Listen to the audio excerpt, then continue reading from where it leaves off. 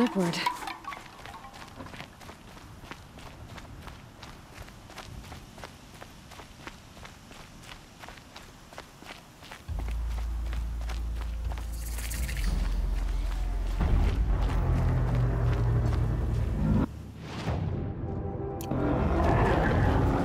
The sound of that.